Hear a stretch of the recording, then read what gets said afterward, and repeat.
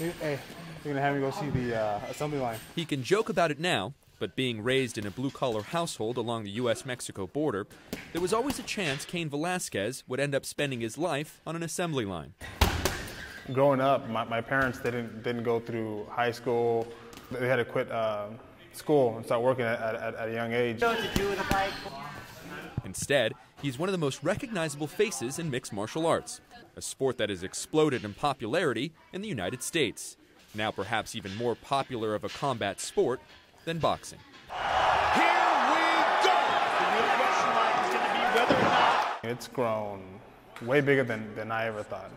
I think fans are really getting drawn to the UFC um, because of the, uh, the excitement factor.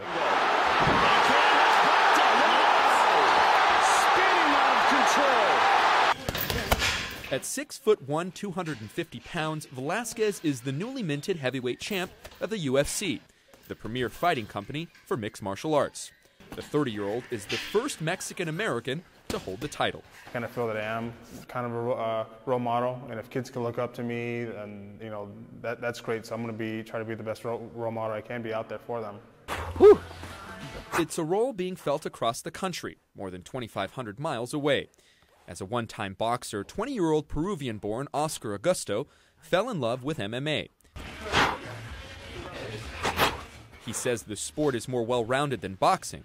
Like a war with an ending, nobody can predict. An attractive feature for Latino fighters like him. It's tough work.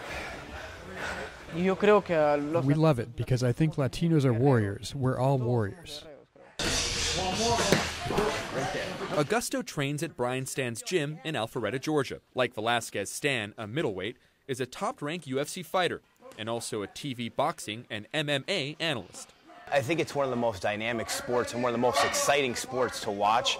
And I also think that the athletes are fantastic. I think the athletes captivate and capture, you know, their fans, and fans then want to follow those athletes. A passion stirred by Latino fighters like Velasquez, who are also more accessible than star players in other sports.